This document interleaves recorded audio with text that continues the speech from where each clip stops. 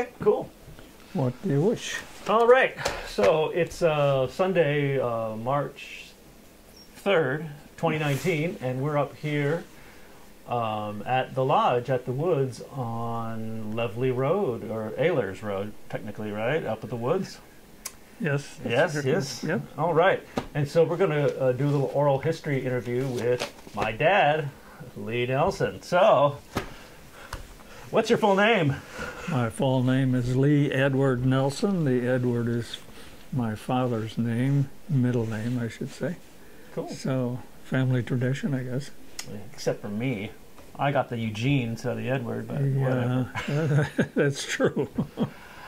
Oh, We didn't like you anyway, so ah, oh, the truth Oh, comes man. out finally.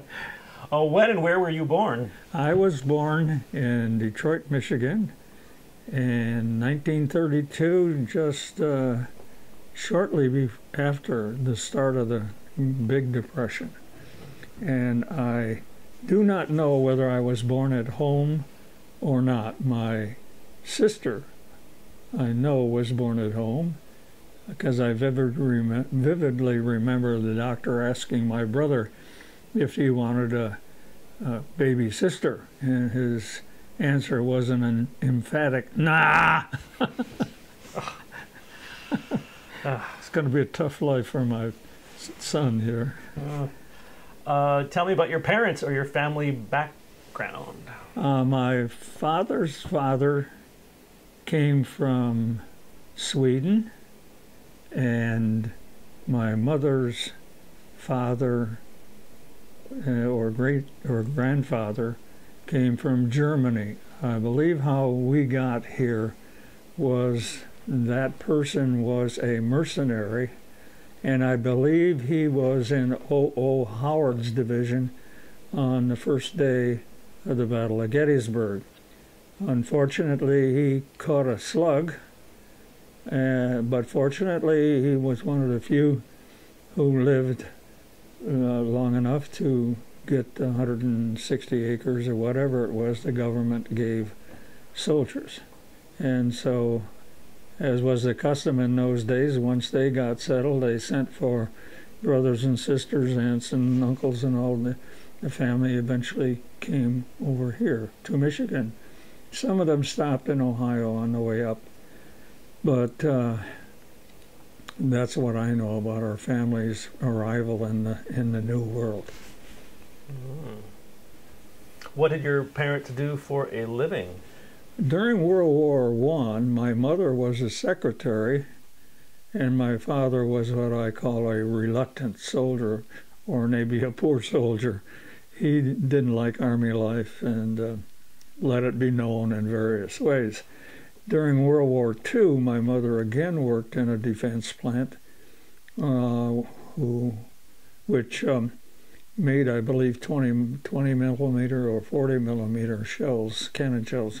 And uh, my father worked in a defense plant making uh, tanks. Oh boy, did you contribute to the family income or help parents earn money in, by working I I when worked you were young? when I was young. I worked uh, when we lived in Detroit.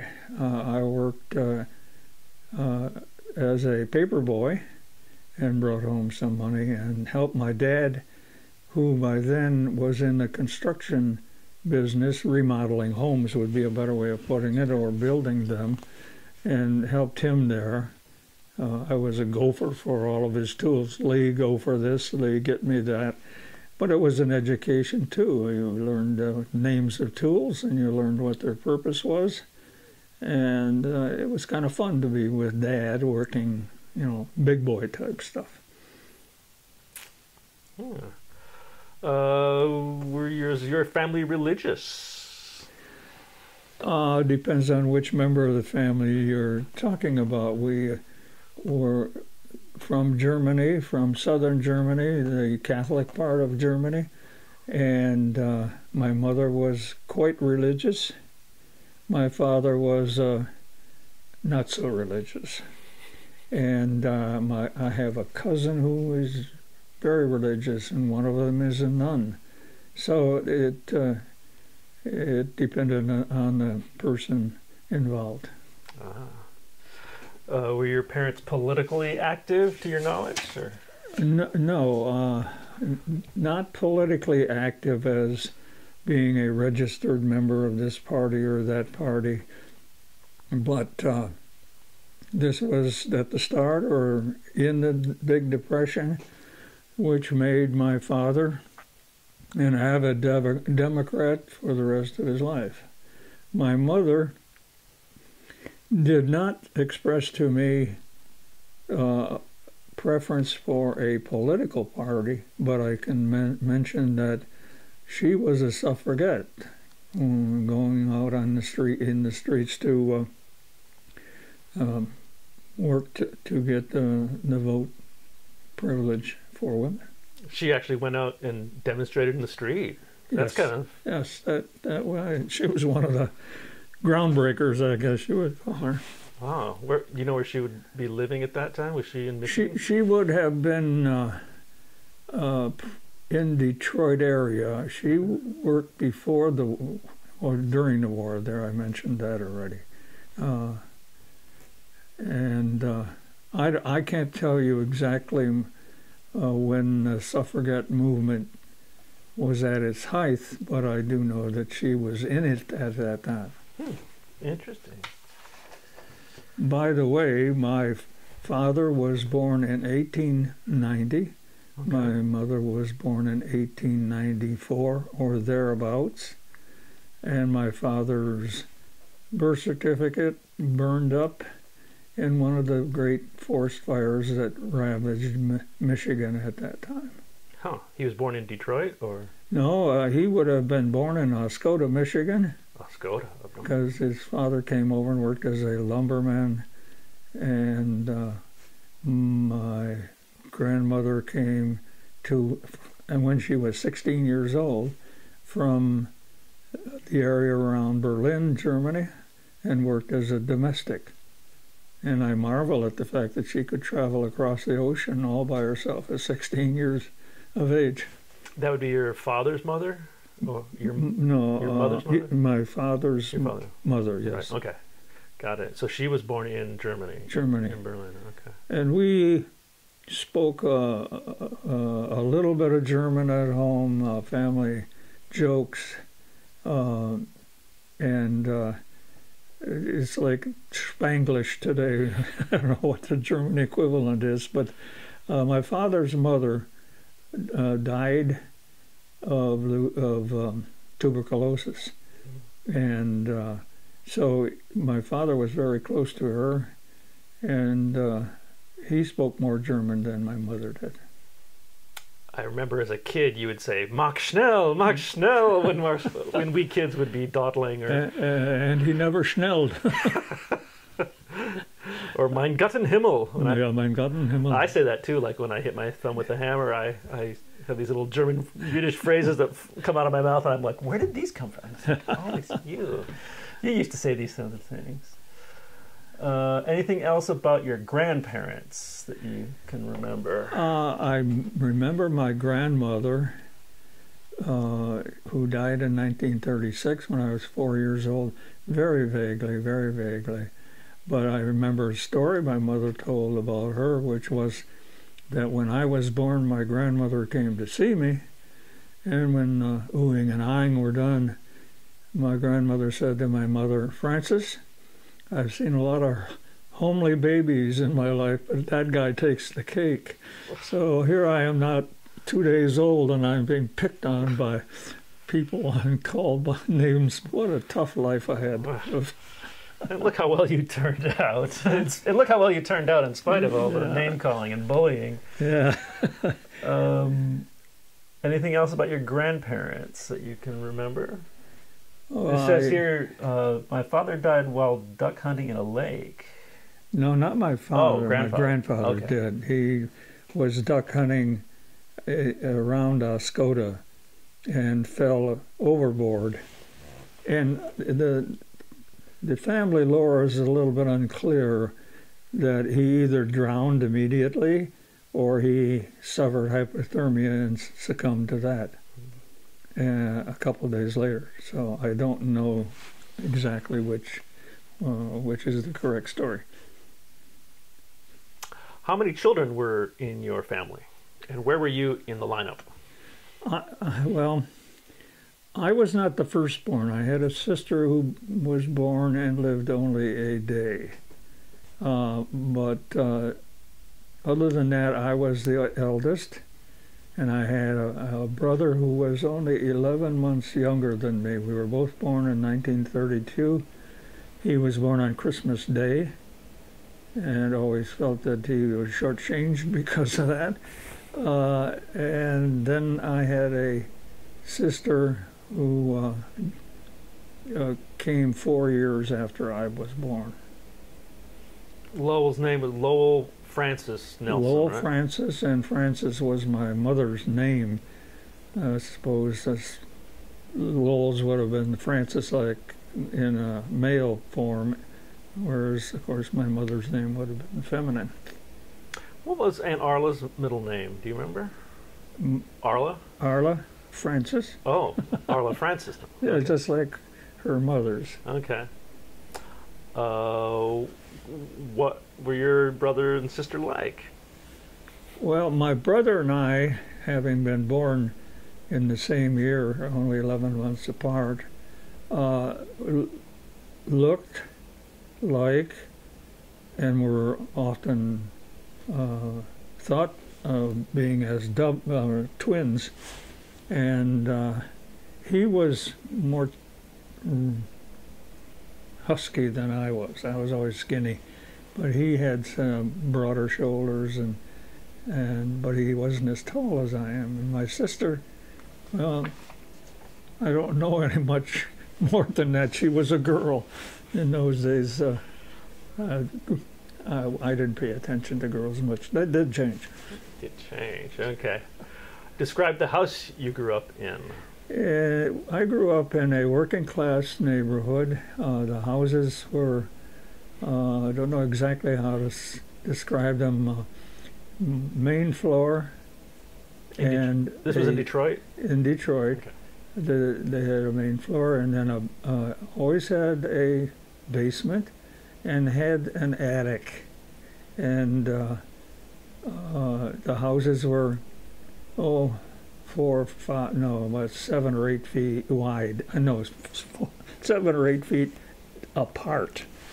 And uh, that's, uh, and they were usually uh, made out of lumber and shingles, wooden or uh, asphalt shingles. And uh, when we lived in a neighborhood, like I say, it was working class. It was also uh, multi-ethnic. We had a family of Italian people, two families of Italian people living down the street from us. There were English people there. There at that time were no black people, and uh, I remember vividly the first time I saw and talked to a black boy who was my age, and uh, and this was in Detroit. Uh, so that uh, that's our neighborhood. Uh, there was a Protestant church on the corner of our street, and there was uh, a Catholic uh, church and school, which I attended. Uh, oh, about a quarter to half a mile away from our house, and we walked that when we were a little bit older than first grade, second grade. We then were expected to walk home, and in those days you didn't worry about kids like you can today, in the sense that somebody's going to pick them up or snatch them. Uh, Do you remember what street or what? yeah, I, I can tell you the street and, the, and uh, the number. Well, we lived in 8252 Montaloo. Uh, that uh, that house, that area was pretty much has been pretty much leveled since that time. Matter of fact, it's been leveled uh, since uh, my kids were little. So uh, it's been quite a while. Do you know what's there now? What's there now? Uh, at that time, if you went about uh, an eighth of a no, a quarter of a mile to the east, you would come upon a fence around the Detroit City Airport. And of course, I also vividly remember uh, seeing a Douglas DC 3 sitting on, uh, uh, in or, or on, perhaps both, a building where it had crashed the night before. Ooh. Wow. Um, did you have your own room? No, uh, as a matter of fact, we didn't have a, a room particularly in the summertime. We slept in the attic, and we thought that was great, of course. Uh, did we have a room in the wintertime? I don't remember. We must have had a room of some type, but no. Uh, in the winter, in the summertime, we slept in the attic. Did it? Did that house have all the, like the modern utilities and conveniences? Uh, no, as a matter of fact, if you wanted ice, you put a card in your window that had a, uh, on one corner, 100, the other corner, 50, the other corner, uh, 75, and that indicated to the iceman the number of pounds of ice you wanted. So he would either bring in a full chunk or chop it down to what he thought was 50 or 75 pounds, and, and that's what you paid him Hmm. and we did not have an, uh, a refrigerator. The refrigerator refrigerator was from the ice that I just spoke. Um, what were your family's economic circumstances when you were young? Uh, as I mentioned before, this was in the Depression, and my family lost a lot of money uh, during the Depression. They owned quite a bit of property in Florida Oh, and a uh, a number of houses in Detroit, and my recollection is that they lost them all. They Lost every bit of it. I don't know anything about the uh, the uh, property in Florida. Um, as a kid, do you remember having to do without things? Or I wasn't aware of that very much. Uh, no, we lived in that no, working class neighborhood, and, and uh, everybody looked like us and lived like us that I could tell of at that age. And so, you know, you didn't feel like uh, I wish I had uh, Rockefeller's money or something like that. We we had a lot of fun then. The kids did, and did a lot of crazy things, which probably I'll be asked to it's coming right up. uh, but first, uh, did you have chores or duties around the house as a kid? Uh, occasionally, you know, you'd help your mother do this or that. Uh, the uh, for me, it was uh, run and get tools for my father. Lee, go get me a hammer, or Lee, go get me a, a, a screwdriver. Like I said, the that was quite an education for us to learn names of tools and their function, and uh, that uh, oh, I had to. First of all, I had to uh, help start the old Model A.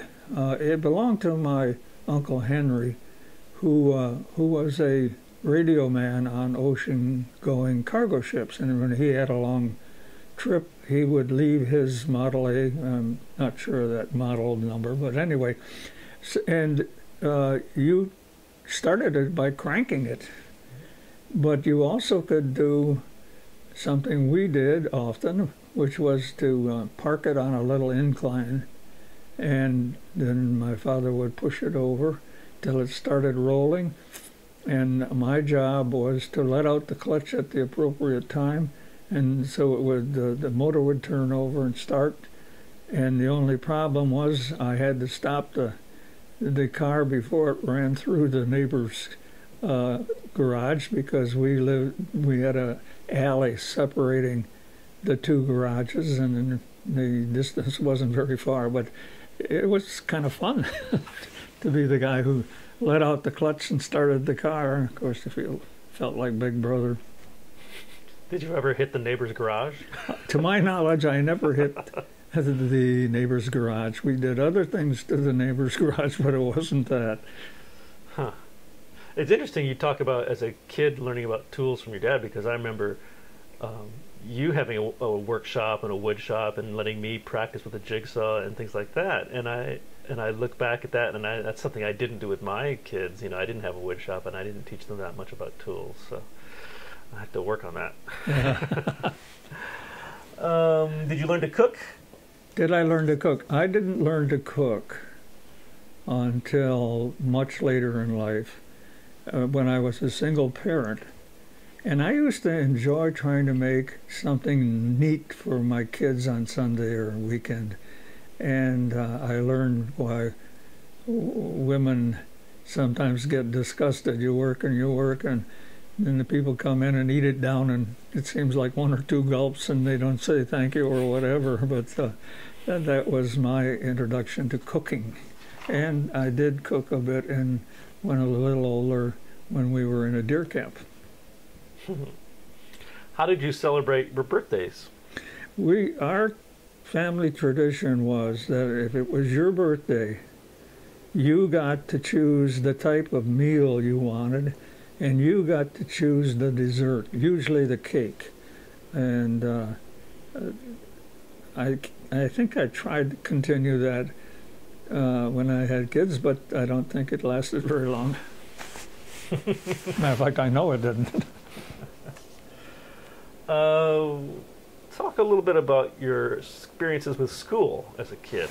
My what? School um, experiences going to school. Well, uh, I was not ever going to win a Nobel Prize I, because I wasn't that smart and I wasn't that uh, diligent in studying. Uh, uh, we were playing uh, Artie Shaw and uh, Benny Goodman music here uh, a few minutes ago, and I felt like I wanted to dance, but I felt like the person who gets me to do one dance step should get a Nobel Prize for moving the immovable object. And uh, so that segment, uh, I was pretty good at, at mathematics. Uh, I couldn't color worth a darn, which we were supposed to be able to do. And uh, I will tell you that I have been requested to leave church choirs, and my biggest uh, uh, the guy who really tells me how it is when in singing, he says I should sing tenor as in 10 or 12 miles away or sing solo. As solo nobody can hear me. Mm-hmm. but unfortunately what they have said is true. What kind of games or recreation did you do as a kid like to do? Well we played stick baseball. Uh, we uh, we ice skated. I'll tell you more about that later. And we uh, had what we call rubber gun wars. You could make a uh, a gun by having a, a clothespin and uh, uh, a couple pieces of wood and, uh, uh, and the ribbon of a inner tube, and we used to fight rubber gun wars. Uh, that you know that didn't hurt anybody, but that it was an activity and the other thing we did uh, was make smoke bombs. Uh, in those days, uh, photographic film burned, sort of, and gave off a lot of smoke, so we would wrap a, a roll of film in a newspaper and you could light the end of it and throw it in your opponent's fort or castle, and that was part of our chemical warfare. Chemical warfare. oh, did you want to be anything when you grew up as a kid? Did you have uh, like an occupation of the future in mind or anything? I never had uh, that inclination at all until perhaps I was well into high school. Uh, and that was to become a chemist because Dow Chemical is uh, located and headquartered in Midland, Michigan, and then I thought that was, and I'm very conservative, and I thought that was a very, uh, if not lucrative, but stable job. When did you move to Midland? My family uh, moved to Midland in 1949, and uh, it was in October or so, and I just made it into uh, freshman class in high school, and that that's all I remember. Okay. Let's see. What do you remember about going to high school? That was at be in Midland, right? Yeah, that I was in at uh, Midland High, the old Midland High, I might add, because I remember being told my buddy was at Midland High, and without thinking, I went over there until I realized that it had moved two miles or so, and I had forgotten forgotten about there were two Midland Highs at that time. Hmm. And uh, what uh, was the first part of your question? Oh, just like, um, did you have any particular well, hobbies or activities or clubs or anything you were in? I remember vividly that uh, this was in uh, at, right after World War II, and during World War II, boys who were of high school age had to take some sort of army physical training. They didn't want you coming there like a marshmallow. So we played uh, tackle football with no pads, no nothing, no helmet, uh, which may account for some of my proclivities. And uh, uh, it was very rigorous. The rules were often very different than they are now, particularly for girls. Girls uh, didn't play sports like uh, boys do or like they do now. Uh, their movements were very uh, choreographed. I should not quite say that, but at, at, anyway, they were very different than here. Hmm. Interesting. Than now. Did you expect to go to college when you were in high school? Uh, I believe that I am the first member of our family and extended family who did go to college. Uh, my father went to the eighth grade and no more. Mm-hmm. The simple reason was there wasn't any more in those days. Uh, you, they didn't have high schools uh, around the corner like they are today. My mother did go and finish uh, high school but she had to move in with uh, relatives to do so. Did you work in your when you were a teen? Well, uh, of course, by that time my parents had uh, purchased uh, 40 acres of land, and we uh, worked on that. We raised chickens and pigs and uh, occasional beef that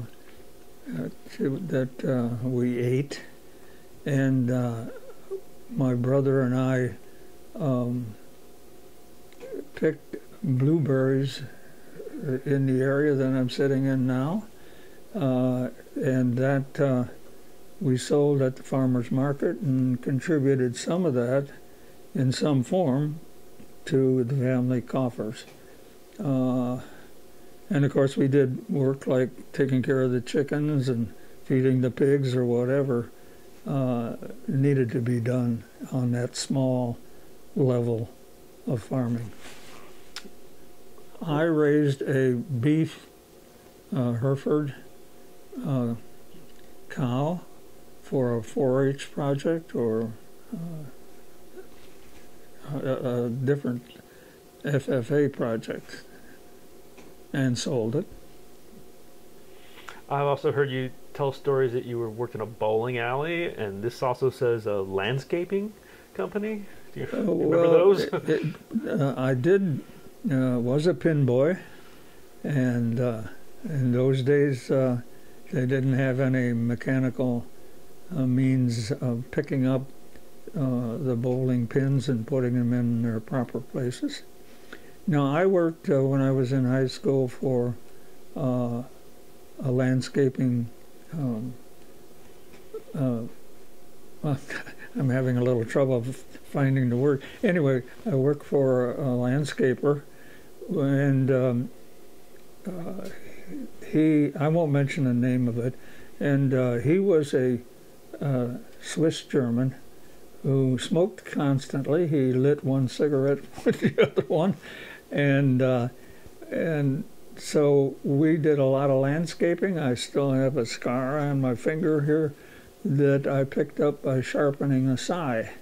Uh, Midland has uh, ordinances, you have to keep your grass below a certain level, and I was cutting it with a scythe on somebody's lot.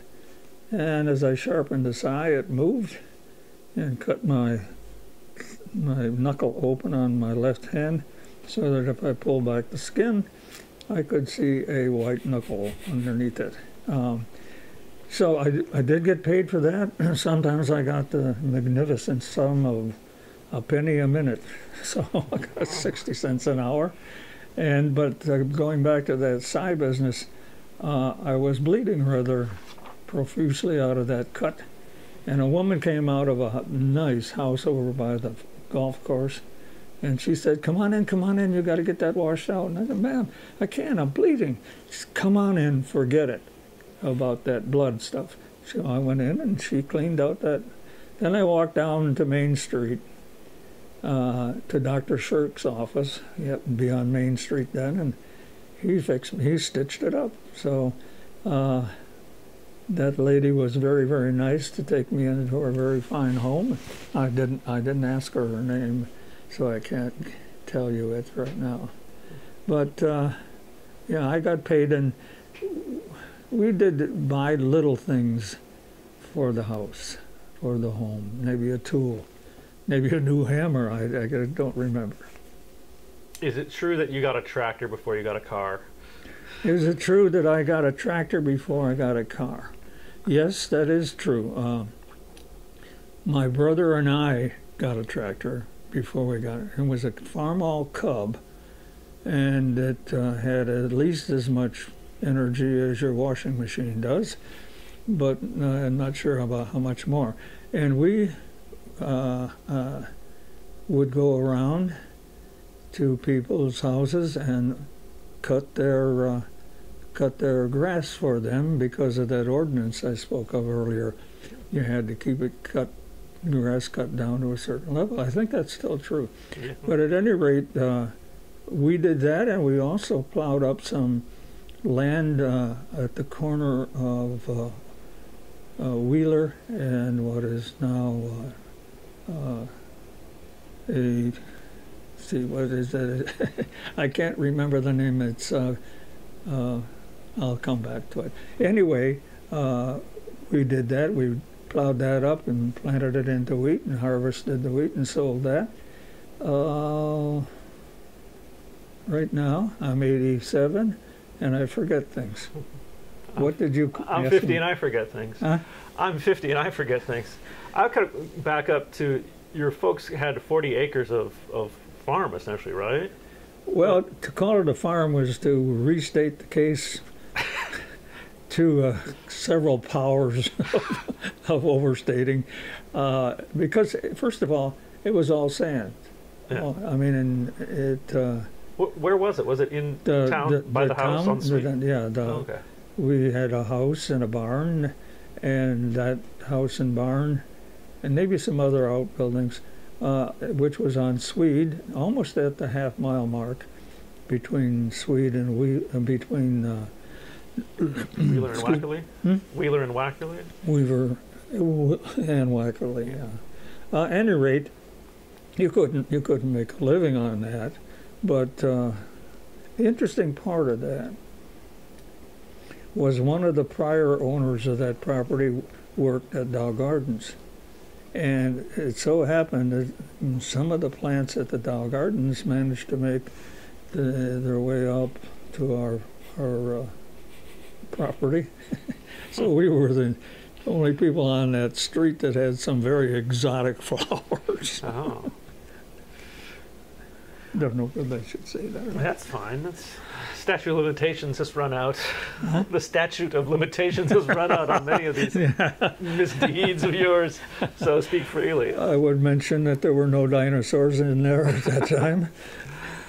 Uh, what was your social life in high school? Did you start dating? Uh, actually, uh, our social life, uh, as it developed was started earlier uh, in uh, you know the late uh, grade school years. Uh, we we played softball at the corner of Wackerly and Foster Road on the grounds of the the school that was there. We we well, I, I tell everybody I didn't know what girls were until I was 15. I thought they were just boys who couldn't afford haircuts, and and I borrowed that joke from somebody I have now forgotten. At any rate, you know, we hung around with with girls, and some of the guys and girls were just starting to date, or at least go around together. Uh, but uh, uh, there wasn't any uh, pinning or wearing his ring type of thing at that time. Uh, so, Did you start dating in high school? no, I never had a date in Oh, really? hi- high school. I mean, you, you know, in parties or something like that, you would sort of be attached to a girl, uh, uh, but uh, I, I don't remember having a date. You know, sometimes I would uh, want this girl to sit with me at the 4-H uh, dinners. Uh, there, it was uh, quite rural in its uh, um, social atmosphere, I would say. Hmm. And Uh, we, we we played baseball or softball all the time. We made our own softball diamonds at the corner of uh, of uh, Wheeler and Swede, and a little further north, uh, because the people let us, and we played uh, softball there. The we that was a, one of the largest uh, social activities, and the others being brought to us by 4-H or uh, FFA a little later on. Uh, so Did you go to the movies a lot? uh, the, I went to the movies a lot more when we lived in Detroit than I ever did uh, in Midland at that time. The in Detroit there was always a um, uh, matinee. Uh, you could go for a dime. You could see a movie. Perils, Perils of Pauline. Uh, the uh, I forget the the fellow who had the Alaska pictures. Uh, help me out at Uh, your age. Uh, I'm drawing a blank. I don't know. uh, okay. Uh, anyway, we can come back to that if necessary. And uh, so, no, we didn't, didn't go to movies. Matter of fact, to have gone to the movies would have meant going down to Main Street in Midland, whereas at home uh, or at um, in Detroit, they were quite a bit closer. hmm Do you have a radio at your house? Did you listen to the We, we did Okay. have a radio, and one of the memories I have of that time was uh, I'll combine a couple of things here. My my aunt and uncle had just moved to a new subdivision in Redford, Detroit, and the, the uh, uh, people were just pouring the curbs at uh, that time, which happened to be December 7th, and uh, the contractors uh, covered the curbs with straw because you don't want freezing and, and uh, hardening of concrete to go hand in hand. And we went, we all went into the, my aunt and uncle's house and noticed the, the solemn, somber looks on the faces of the adults. Well, that was particularly true of my aunt and uncles who had uh, uh, uh, more infantry age ages, uh, uh, so they were liable for the draft, whereas my brother and I were quite a bit younger than that. Mhm. And the reason I remember the radio was it was one of these cathedral type uh, housings, and it had the wood was or cut so that you had the dome like stuff. Mhm. statues, uh, well, not statues, It's the shape of shape. kind of, yeah. I know what you mean. Hmm? I- I- I- yeah, I know what you mean. That, that, su- that style of cabinet. Yeah. Yeah, the cabinets were, and uh, but I, I remember uh, listening and hearing, you know, some I wouldn't call them play-by-plays, but uh, uh, the reports on Pearl Harbor. What was the name of your aunt and uncle? My aunt and uh, aunt. uh, I'm drawing a blank, but it was an Irish name. They were a typical Irish family, and if you uh, uh, there's a book uh, that uh, uh, would have depicted them to the core. I guess one guy should have sto- um, sued the other guy for stolen goods or something. Uh, their name was Donner, and they lived here. Uh, part of the family lived here in Michigan in later years, so you may have run into them. Hmm. Okay. And you said at that time they lived in Red. Beg pardon? They lived in Redford at the time. At that time, they had just moved into a new home uh, uh, in Redford, Detroit, and that's why the curbs were being poured and all that. So, What happened after high school for you? what happened for high school? Did I graduated uh, from high school when I was 17, which meant I couldn't get a job uh, at Dow like all the rest of my peers did because I was too young to work in that kind of environment where there was, you know, danger or whatever from. And so I went uh, and worked at Harvest Bakery, uh, and, uh, and and worked there, and also went back to school, but I can get into that later.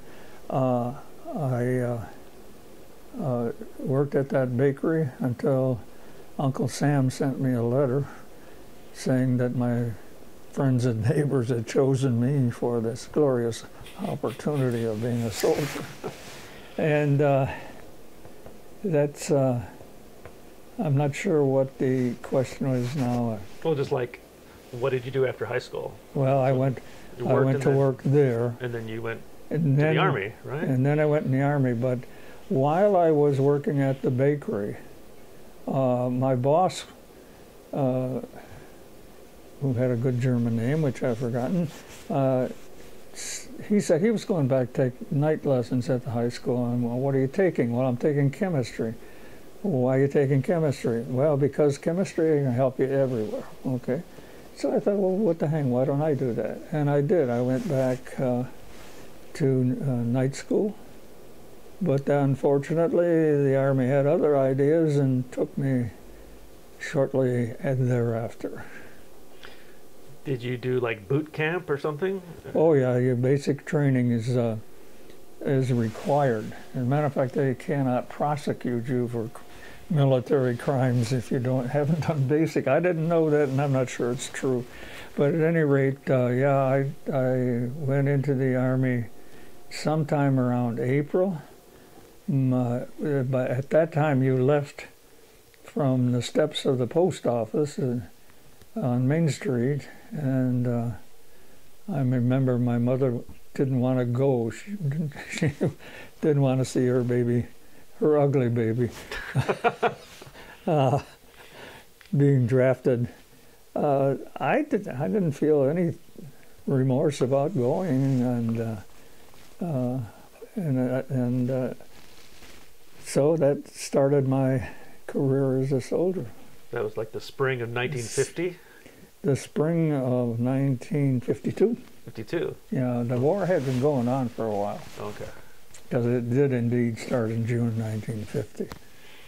Did uh, Lowell go into the service at the same time? Yeah, but he he saw me going into the army, and he didn't want the army, so he volunteered in the Air Force and uh, spent his whole uh, military career in the Air Force. Mm, okay. Lowell being my brother, Mhm. my nine months younger brother. What was it like in the army? Well, um, I think I adapted to the army quite well. Used to being getting up early, used to working hard, used to handling guns, mm-hmm. uh, because my father was a hunter, and and my brother and I certainly tried to be hunters. Uh, many stories around that topic. Uh, some of them true. Uh, so that's um, that's what uh, uh, my introduction was, and I was sent to. Uh, of course, you're, you're handled several times. We did something Fort Wayne, and then they shipped us off to Kalamazoo or Yips, you know, not Ypsilanti, but Kalamazoo area, Grand Rapids area, before they shipped us down to uh, uh, Fort Knox, Kentucky. And I think that was probably one of the first times I had been out of Michigan, if not the first time. And then you went to the Panama Canal to get no, no, no, no. Uh, no you... uh, I from uh, I took basic training in Fort Knox. Okay. And uh, I had worked, as I mentioned, at Harvest Bakery, and wonder of wonders, they sent me to baker school uh, in the Army at Fort Knox. So um, that was kind of nice because you got a lot of good goodies to eat, and uh, uh, and I enjoyed it. And we uh, uh, we occasionally had a buddy or two that had a car, and we could go riding around uh, Kentucky, and uh, that was interesting. Like I say, I'd never been out of the of Michigan, but the uh, country was, of course, entirely different than Michigan. It was hilly and pretty and green uh, and hot. We actually had one guy in, die in with basic training. He overheated and they never got him back. Uh, but then an edict came down. You know how the army is: ready, fire, aim, uh, which meant that they worked after the fact rather than before and that was one of the cases. Uh, I don't know. I didn't know the boy, nor did not even his name. So anyway, I enjoyed uh, uh, army life for the most part, and it gave me material to tell stories and jokes all the rest of my life. you were deployed to Korea. I was deployed uh, from uh, Seattle, mm. and they sent you overseas by boat in those days. You didn't fly you over, and uh, so we left uh, uh, from Seattle. And it's interesting that one of my friends at that time was from Saginaw, George Peshek by name, and George could not look at a waving leaf without getting seasick. I mean, he, he was he was the saddest man to look at when he was on that boat. But uh, at any rate, uh, uh, we made it across, and we were in the Pacific, going across the Pacific, and it usually was just as clear as glass. But when it wasn't, poor George really had a tough time. So we ended up in Yokohama, uh, and then they shipped us to what's called a repple depple which is shorter, fancy for replacement depot. We were replacements for people who were shipping back to the United States. They'd serve their time, or they uh, uh, had not made it, and so uh, so we ended up in uh, Yokohama for a couple days until they decided where we should be going in Korea. And then uh, we got on that boat again, the same one, uh, which uh, uh took 36 hours of going through the various channels between Yokohama and Busan. And I, I should mention that, uh, you know, I, I can't mention it because I just forgot it. And uh, so they, they obviously knew we were coming and we were I was shipped to in Pusan to the 110th uh, quartermaster bakery. So that's was where I was deployed to when I first hit Korea. How long were you there? In Korea Yeah. or In Korea. Busan? In Korea in general. In Korea, I uh, left Korea in April of 1952. So uh, I was there, what, just a little over two years. Okay. Did you go on R and R to Japan? Yeah, I went on R and R to Japan. I would say two, maybe three times, and uh, What was that like? very, very interesting. Uh, of course, uh, I had had a little introduction to Asian culture um, by being in in Busan for 15, 20, 30 days or a month or so. Anyway, uh, uh, you know, um, my buddies and I did not partake of the local uh, sins, and uh, so we we had a very enjoyable time. I, I remember we got there, and we the first thing we did was get on a train to go up to uh, Lake Chuzenji, which happened to be the summer palace of the the Empire of Japan, and uh, and it was uh, interesting to ride the train because in those days everybody and everybody got on the same train, and uh, uh, you know, had, sometimes you had a animal for a companion, and uh, Japanese were very uh, pleasant to us, offering us sake, which I had never even heard of prior to that, and uh, maybe even trying to talk to us in sign language, and and then we stayed there, and uh, you know, it's a mountainous country, and uh, entirely different than ours. I remember looking back down the staircase type road that we climbed up and thinking, oh my lord.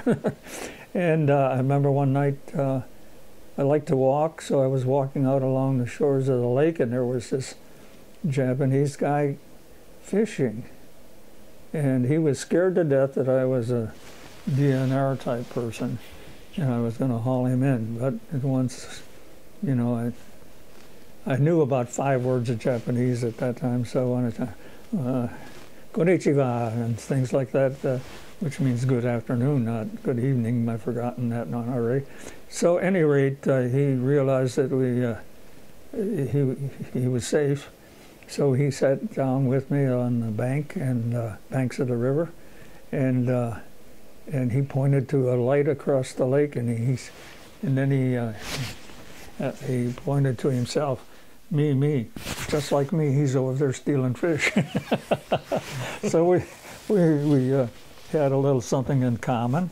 And I remember the uh, one night I again went out walking, and uh, a, a geisha in full geisha uh, clothing was, there. It was darkish, and I think she was afraid of me, and uh, and I just said again some two three words in Japanese and she went on and I went on. So uh, the other thing uh, that we learned is uh, to don't use uh, charcoal for a heater; it'll kill you, uh, carbon monoxide.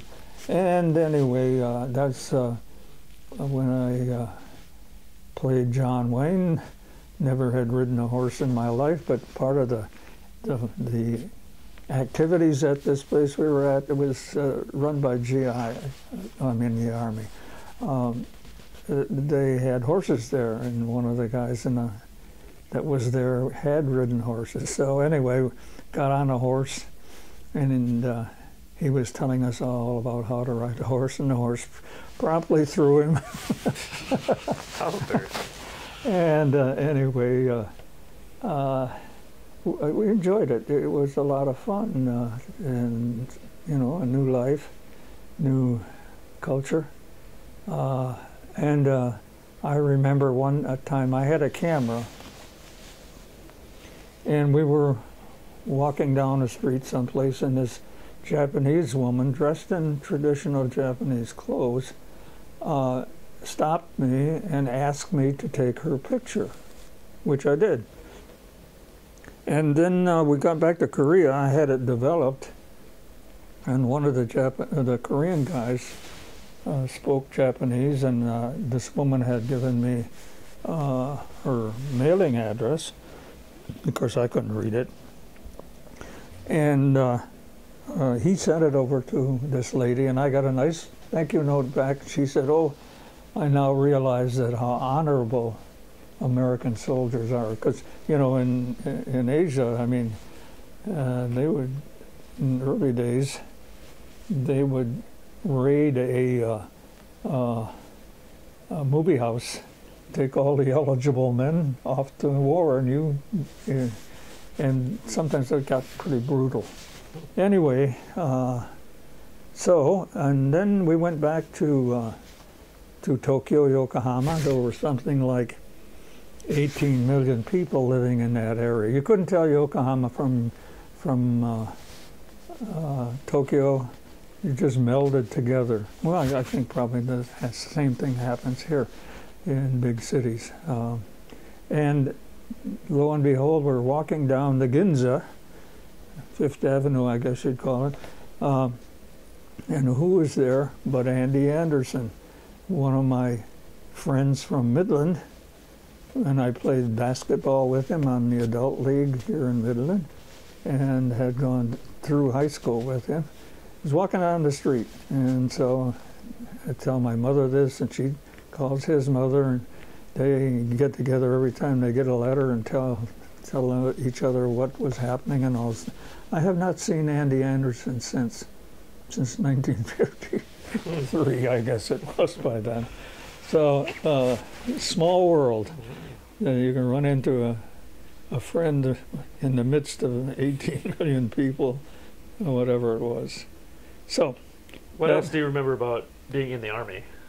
What I learned about being in the army, or remember oh, anything, yeah. Anything? Oh, uh, well, uh, I got a. Oh, I learned about uh, uh, how lucky I was to be in that quartermaster corps because we had everything we wanted uh, to eat, to wear. Uh, uh, certainly, we had entertainment because we had a movie projector and we could watch movies and uh, we had uh, some activities like volleyball, which is pretty easy. Uh, I have some remembrance of uh, how our little camp, oh, maybe a hundred guys or not many more than that, maybe not that many, uh, sponsored a Korean uh, orphanage, which was right behind us. And those guys used to take their time and a lot of times their money and spend it on those kids.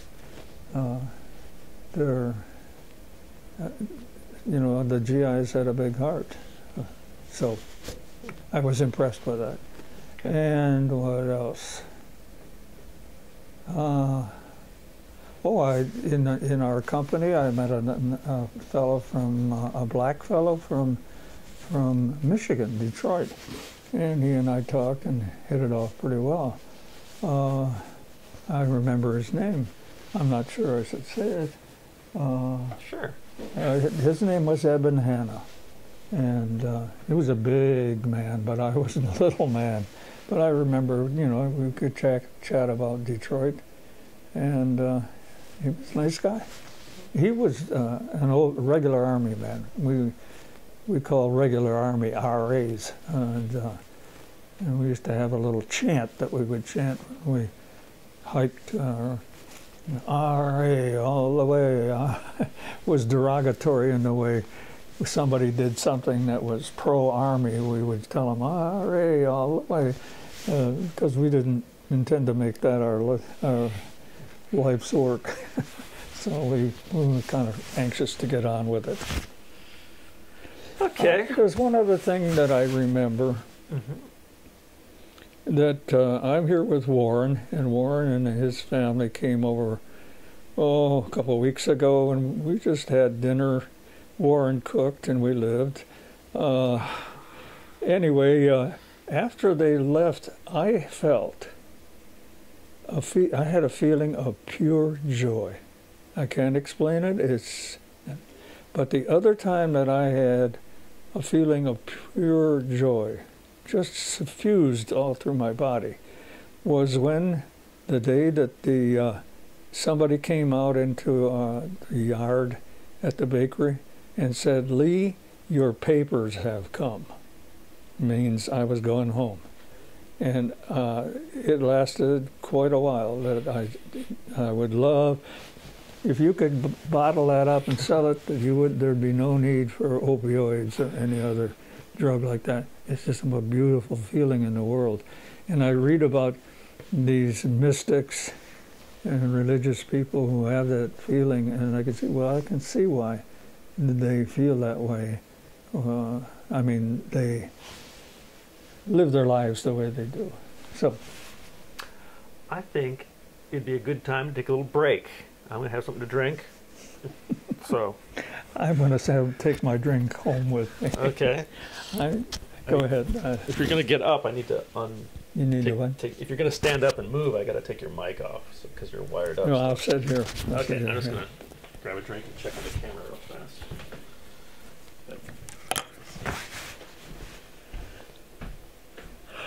Oh, I'm going to have to tell Cindy she should get hire you to wire up everybody.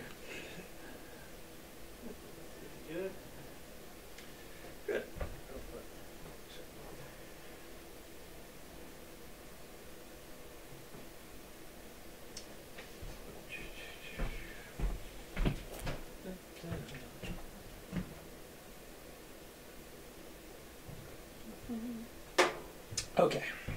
Oh, that was quick. I'm a quick guy. It got dark outside, hasn't And I it? don't want to stay here all night, but we can do this again if we don't finish. We so- could do one. We could do this again if we don't Yeah, finish. well, sure. and stuff. Okay, so we're back. Oh, I got to check one thing.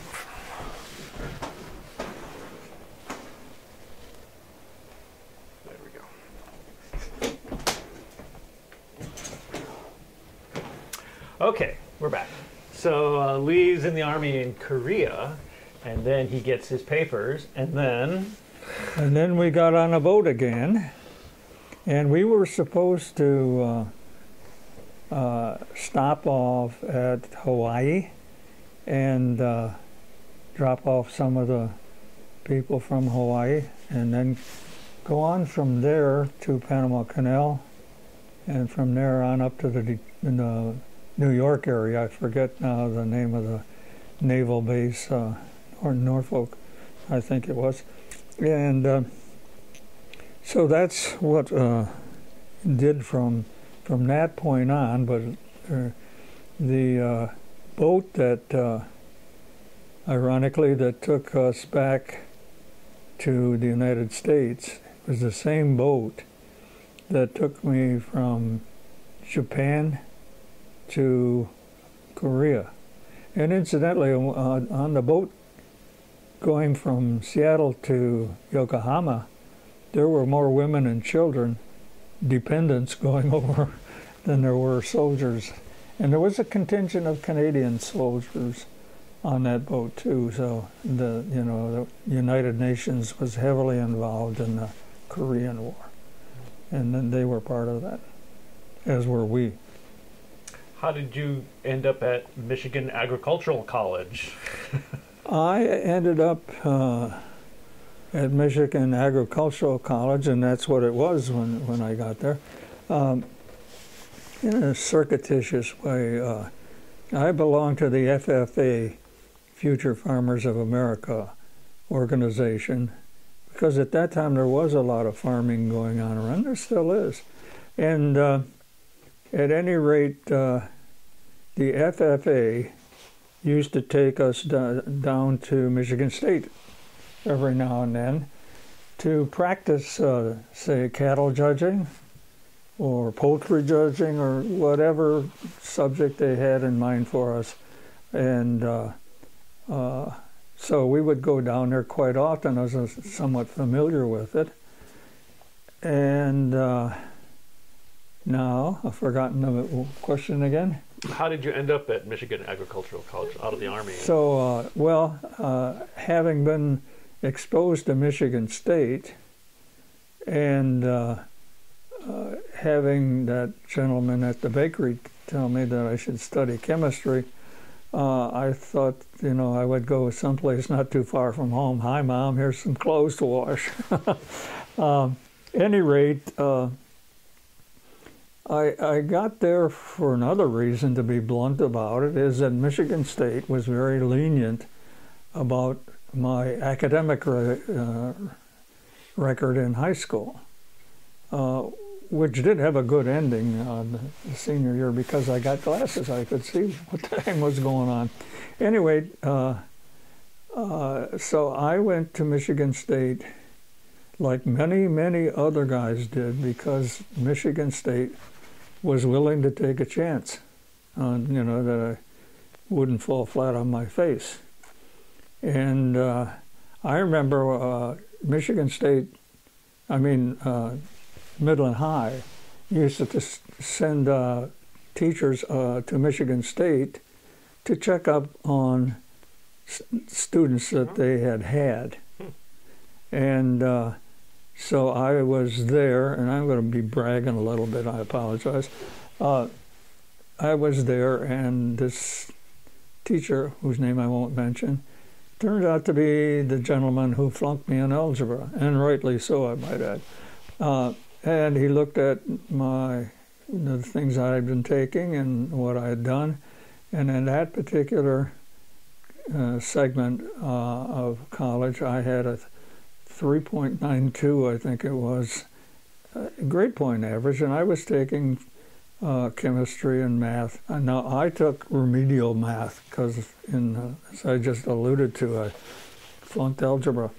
Anyway, because uh, I like to read books during class, and uh, at any rate, uh, he looked at that, and I didn't say anything, but he took his glasses off and he said, "Oh my my, you seem to have done pretty well."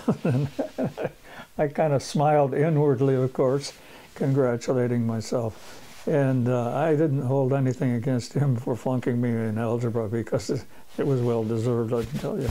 At any rate, so uh, that's why I got to Michigan State. Well, since I was older, I became a resident advisor. And lo and behold, one day this guy walks up uh, when the in, people, incoming people, not people who had already been through one year of college, walked up to me and he told me his name, and I said, "Hey, you know, you and I are distant cousins." Said, "Yeah, yeah." Well, what are you doing here? He said, "Oh, I just got out of the army or something like that," and they took him. Uh, the army or the Michigan State did, and I, I, don't think his, his, his academic record was much better than mine. He graduated with honors in in engineering. So um, the, I always felt good about Michigan State for doing that, for taking a, taking me and taking Ron and and uh, excuse me. His name, by the way, was Ron Essenmacher. It's a good German name and uh, I have lost contact with him since then. But uh, uh, I had a lot of fun times at Michigan State, and uh, and like I say, well, I would go into a classroom sometime, and I was uh, there was only one girl in the class because all these veterans are coming back and flushing out or fleshing out their uh, their academics, and so I uh, felt at home because there were a lot of ex-GIs in that in that crowd and in that boat, and I I enjoyed being a resident advisor, and I got a lot of stories to tell about that experience. So, oh, such as such as oh. Uh, crossing the Red River or Red the Cedar River, or the yeah Cedar River, in springtime and falling through, and uh, uh, having to tell uh, another another uh, guy in my group at Michigan State that his father had died. Uh, something I don't want to do every day for sure. but I mean, you know, you learn that that that has to be done, and sometimes you got to do it. Mm-hmm. Uh, I hope that's not overstating the case, but yeah, I, I worried a little bit about how he would react. He took it well.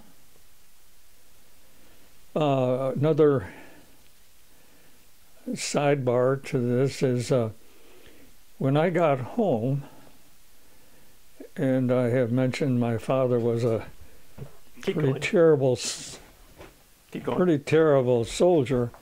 But when I got home, he wanted me to wear my army uniform everywhere. he was so proud that I had been a soldier, and uh, and so I felt good for him on that. Uh, how did you get to Purdue? How did I get to Purdue? Well, uh, everything's a little bit hazy, but one of the reasons that I went to Purdue was that there was a professor there who did work in with uh, silicon chemistry, and that and I wanted to work for Dow Corning or Dow, and I was prepping myself with a uh, a silicon chemistry background before I went to those companies. Uh, well, although I had no connection to them at that time other than knowing where they were. Uh, so that's how I got there. And that uh, man's name was Professor Robert, uh, uh, forget, I'll come to it. Anyway, he was a very very good teacher because a lot of times you don't you get teachers that are just plain terrible. Uh, but he was an excellent one and so good that at the end of the, the semester, every student in there got up and, and clapped. And you don't see that very often. I'll ask my son here, who's been through college, that, that how often did that happen? His name was Robert Benkeser. Another bunch of Germans, aren't there? and I had a German language teacher there. His, his name was Steinmetz.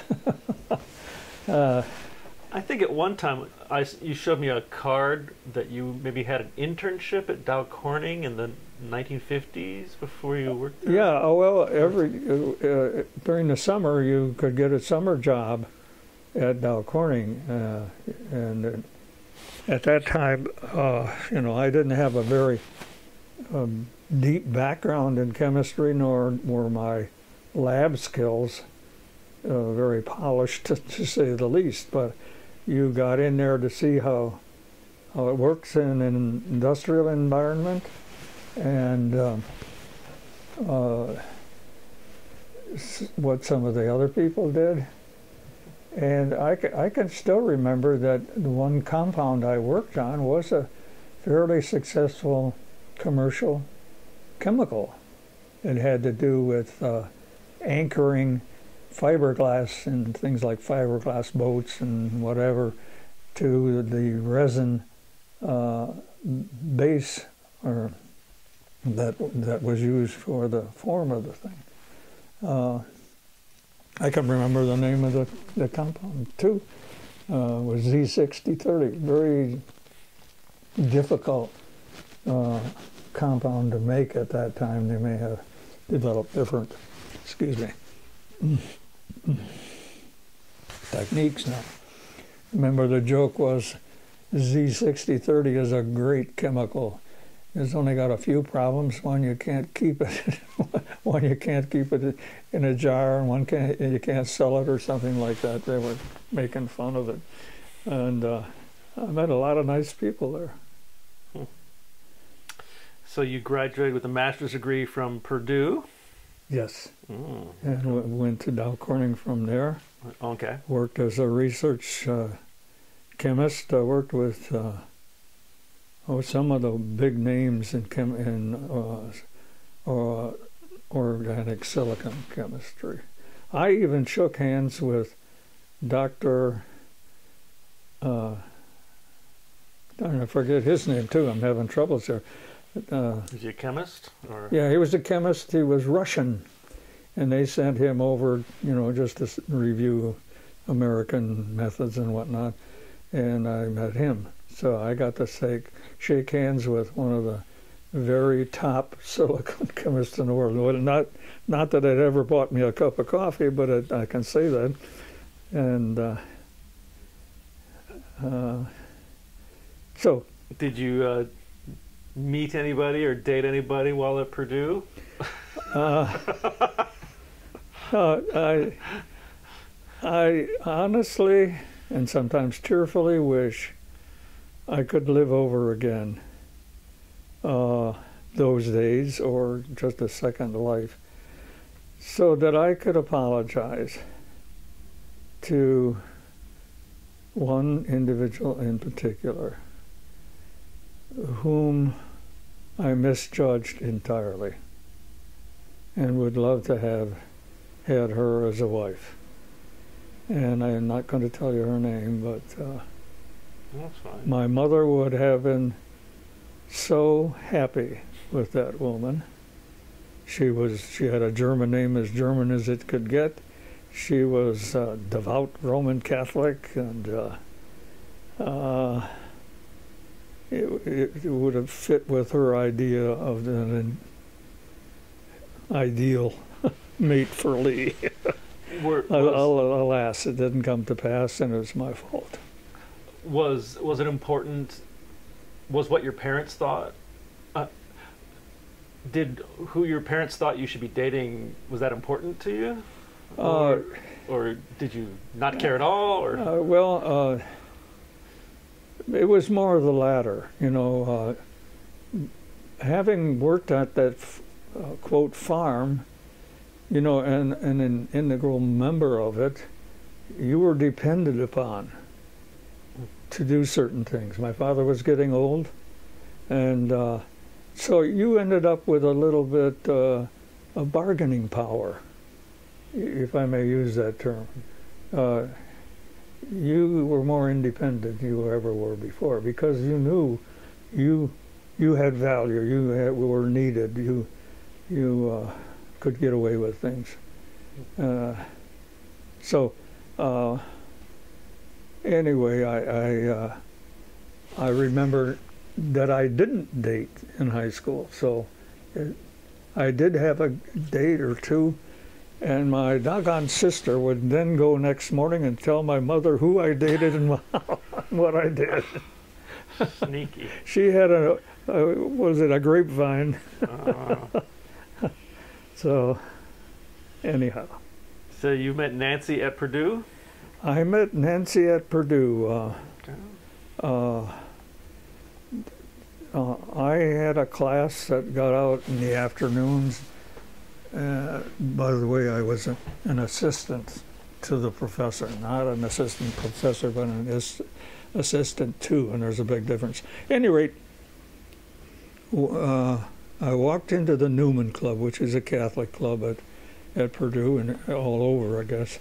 And there was a two girls in there, and uh, one of them I knew slightly, so I said hi, Eileen, and she introduced me, and that was that. Uh, it was ironic because uh, both that girl and the girl I married, Nancy, uh, were working in a uh, genetics lab. I'm not sure exactly what they their function or job was, but it had to do with the fruit flies, the the workhorse of genetics, Mhm. and uh, that's that's how we met, and that's well, we can go on from there, but Well, what happened next? You moved to Chicago. Huh? Did you move to Chicago after Purdue? or- No, no, no. Uh, Nancy graduated, and she got a job at uh, the National Laboratory uh, just outside of Chicago. I forget. It starts with an A, but I can't remember. Uh, I'll look it up if you like. And at any rate, uh, I was finishing my master's at Purdue, and she was working at this laboratory. Abbott, Abbott was it Abbott Labs? Anyway, uh, so I would drive down on a Friday evening, stay at the University of Chicago dormitory uh, as a student. I guess I was allowed to stay there, and then get up the next morning and uh, and take off for Purdue and work on my master's. Then I would come back on Saturday, uh, or yeah, I'd do that Friday and come back on Saturday, and Nancy and I would go out to dinner or do something, and then the next day drive back in my one lung Ford car. It was the smallest car they made, but it got the job done, Hmm. and uh, so we we corresponded that way by being together for a limited amount of time. Uh, and that's where somebody broke into my car one time, stole all my clothes. and I remember the policeman who came to answer the the call. He asked me where I was from, and he and I told him, and he said, "Well, uh, you know what Chicago's like now." He said, uh, "It's not like Midland. you can't leave stuff in plain sight." I didn't take it out. I left it in the trunk or back of the car, and somebody broke in and took everything. So they are now the poorest crooks in Chicago. uh, so So Uh, then you graduated from Purdue, and then what did you do? Well, I had already lined up a job at Dow Corning Hmm. uh, before I left Purdue. I uh, the other way I got to Dow Corning was that they would send out one of their uh, headhunters, and uh, the headhunter would, whom I knew fairly well, would call me up and say, "Hey, Lee, let's go have dinner." Well, that's like being asked into heaven when you're a graduate student and no money. And he would take me out to Bince's, not the Bince's around here, but that's what it was. And it was a, a, a lobster crab house. And uh, he had, the guy, the headhunter had been in the army. So uh, we would sit there and have lobster, which was about several levels above my income level. And, uh, and I would be sure to tell war stories because he loved war stories because he'd been there. And, uh, and he kept it, he would say, Well, have another drink. I never was much of a drinker. And I wanted to put on a good show to, to get a job at Dow Corning. I'm holding on to the edge of my chair to stay upright. And, uh, oh, no, no, no, no, no. So, anyway, uh, that that is another way that I got into Dow Corning. I won't mention the gentleman's name, but uh, It's all right. he, uh, The statute of li- limitations. The statute of limitations has run out on anything. well, the other other reason I won't mention his name is because I forgot. Oh, No, I do remember it somewhat. I will in a minute, anyway. So, uh, So did you move pretty directly to Midland? Huh? Did you move directly to Midland well, once you graduated? uh, let's see. Well, Nancy and I were married in uh, South Bend, and. Uh, okay. Of course, you know all the uh, the the kids we went around with. There were a lot of them mar- marrying and so forth. Mhm. Uh, and uh, I remember, you know, I told you I, I didn't marry that girl earlier, and uh, uh, went to the church to watch to attend the wedding. And when I walked outside, there was that girl's mother. And if looks could kill, I would not be here today. Mhm. Interesting.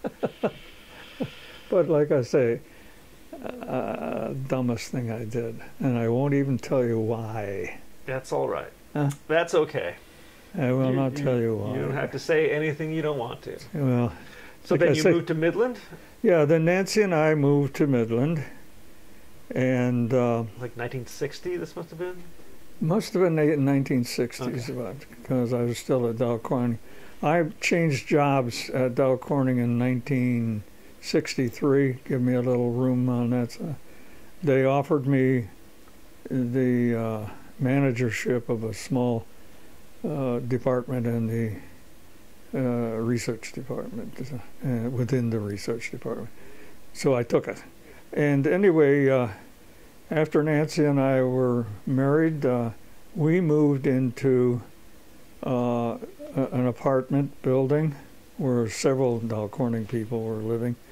And it's ironic because uh, my stepdaughter's now living in the same building as buildings as we did. And uh, of course, I had fond memories of that uh, uh, that era too, because, like I said, there were a lot of Dow Corning people there. In a ride pool with uh, some of them, and uh, it was it was just a nice time, nice time. And I I remember, you know, watching my son, excuse me, my daughter was not born then, uh, learn to walk. And that was a lot of fun, good memories. And of course, being here uh, in Midland, uh, I felt right at home. And if I want to get my grandson, sons, plural, or granddaughter uh, into a, a mood, all I got to say to them is, when I was your age in Midland, tell them stories about how Midland used to be. And they roll their eyes, but they're very good about it. they have not thrown cabbages at me anyway. That's the truth, isn't it? Yeah, not yet. Not yet. Don't count your chickens. I Lee. reserve the right. Um, when did you you built the house on Swede, fifty five nineteen Swede? Uh, 5401 Swede. No, 5519. Uh, oh, 55. That was 1965. Okay, yeah. Yeah. Well, Nancy and I. Because you had the apartment first. Yeah. Uh, uh I had uh, the property uh, at 5519 Swede by virtue of the fact that my father uh, had subdivided it, uh, that parcel of land we've been talking about. And so uh, it, it, was cheap, and we were poor ex students, and so we took it.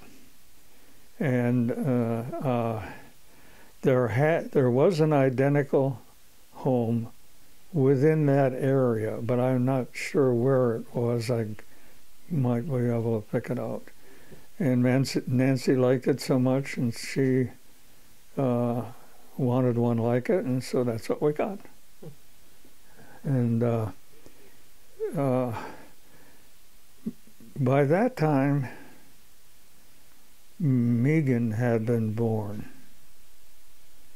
No, Douglas had been born, and, uh, and then I have memories of, you know, their earliest days there, his and and uh, Megan's. Yeah, and then I came along in 1968. yeah, yeah, he did. Uh, I'm trying to fit together. Uh, it must have been Megan's birthday we asked some people across the seat if they would uh, be babysitters for uh, our children, and they said, yeah. And uh, uh they did that. And when uh, when Megan was born, uh, I rushed back home because Nancy was still at the hospital, and and then there was a knock on the door I went there, and there was a woman there, and she said, "I I'm working for the the uh, Board of Education. I, am taking a census of how many children you have, or they you have in this home." And I said, "Well, and how old are they?" And I said, "Well, I got one daughter, and she's about six hours old." Ha ha. Yeah. And I remember that day for another reason. One was a beautiful May day, and there was this gorgeous rooster pheasant out in the Dow Gardens and the sun shining on him. And uh, it was a beautiful day. And I have a new, I have a daughter now, a pretty complete family until Warren added to it. Hmm. yeah.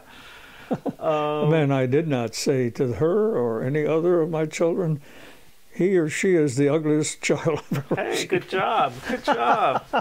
you broke the cycle of abuse there.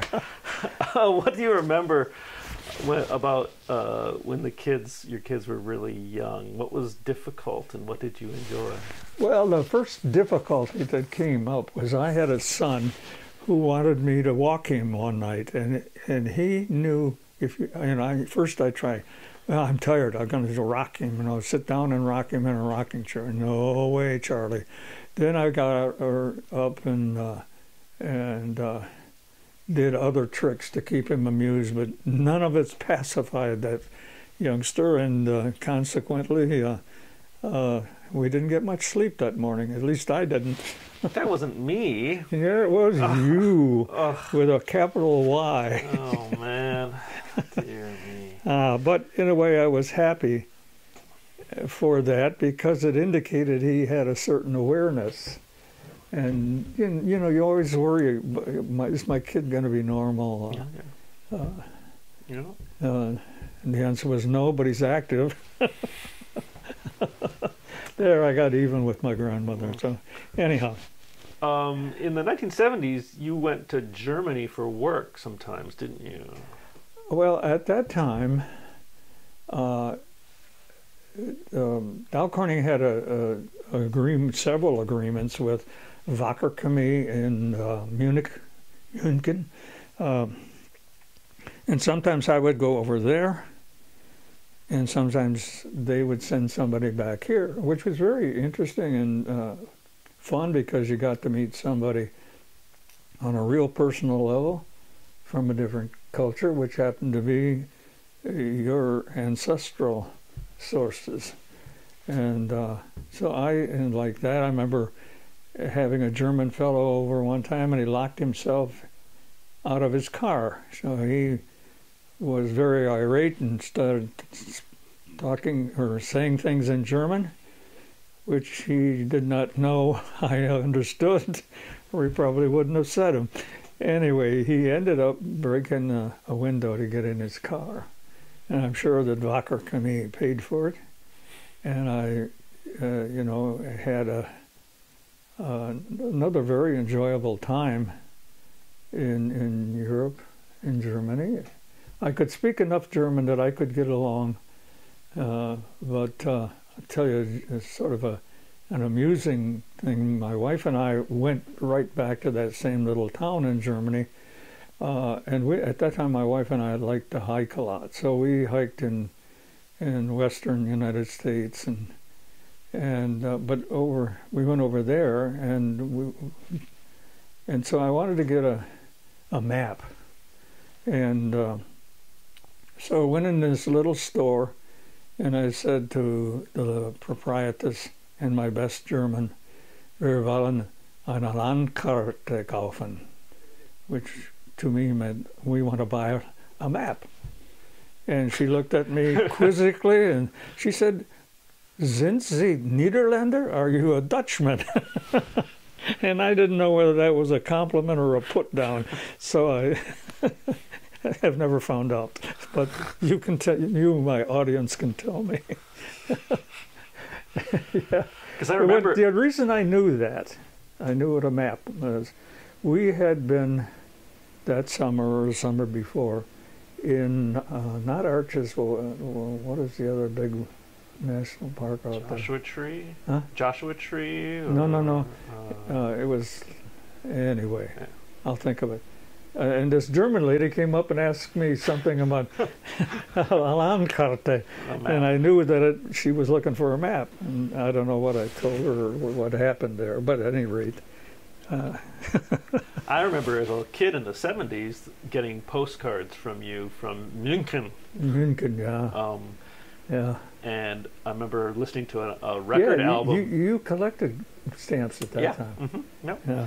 And I remember you had a record album I would listen to. It was like Oh, pop I still songs, have it. pop- Yeah. And there was that song, "Liebe Glück und Sonnenschein." Sonnenschein, yeah. sun- yeah. And I, I, Sun, I, Sonnenschein. Sonnenschein and Sonnenschein. L- love, luck, and sunshine. Right. Yeah.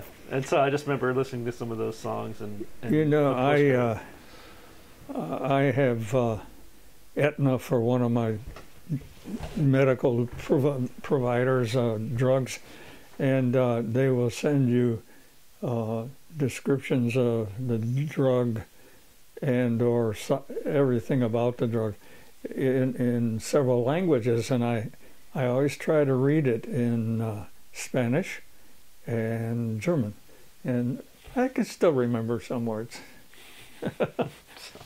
but none of the ones the German man told me when I was watching him pound out the window in his car. I, uh, so, So the seventies, you're you're working at Dow Corning. Uh, yeah. Your kids are growing up. They're in middle school, and you get divorced, right? 1974, 1975, something like that. I don't really remember it. Uh, but I will tell you that uh, my wife and I have, my first wife and I, have sat down and talked out those days. And we agree that we both were stupid. That uh, we let uh, anger, ego take over at the worst possible time. And I think I speak for, well, I know I can speak for Nancy, uh, and uh, because we've talked about that. And uh, obviously regrettable, not only for me, but for, for, the children, my three kids. Uh, I remember my youngest son when uh, when I came over that evening after Nancy had told them, and uh, he grabbed me and tried to hit me, and uh, you know that was natural, I think, and that he would feel that I was abandoning him, but I tried honestly not to abandon them, to be involved in some ways, you know, in their life. Uh, uh, always went to your award dinners. Uh, got fatter as a result. Well, and you know, in sports with Doug, and I don't remember exactly, you know, what, what my uh, approach was with uh, Megan. I remember one episode. Did I ever tell you about the time uh, Megan was there with her friend Laura? They were about nine, ten years old. I don't remember. And I wanted you to do something. And you weren't quite ready to do it. and you would say, just a sec, Dad, just a sec. Warren, do this. Just a sec, Dad, just a sec. Well, I lost it, and I, I guess I got angry, and I said, Warren, no more sex. that's pretty funny. Your sister and Laura keeled over with laughter. They were just uh, out of this world. and I didn't realize what I was saying or how it would sound. uh, Well, I got a text from Lori saying that we should probably wrap it up here and get headed back to town. yeah. So let's take a break from the oral history recording and uh, Agreed to do it again if something. Yeah, let's do it again. And so we kind of left off in the 70s. We have to do the rest of the 70s, the 80s, and, and forward and stuff like that. But this has been good. I, I, I thought uh, there's one story that uh, I have told Cindy, uh, the girl that's doing the same thing. Not girl, woman. There you go. About the first, and I emphasize the only time I have been in a house of ill repute. Oh, And it, it could have been called the story of errors, or the comedy of errors, but maybe someday I should tell you. Okay. I mean, I, I, it wasn't to use the facilities. It Just was to use the bathroom, huh? not. yeah, yeah, I'm only here to use the bathroom. Only hear you. Oh God, that a is so um, uh, incredible that story. well, well, don't forget it and save it for the next time. I won't forget it. For believe me. So Believe signing me. off for this episode of Oral History Interviews. It's Warren and Lee up in the woods. Bye. Ah, Okay. okay, you're going to drive me back home. Yes. I- So hold on. Stay right there. I gotta unpack all this stuff or repack it.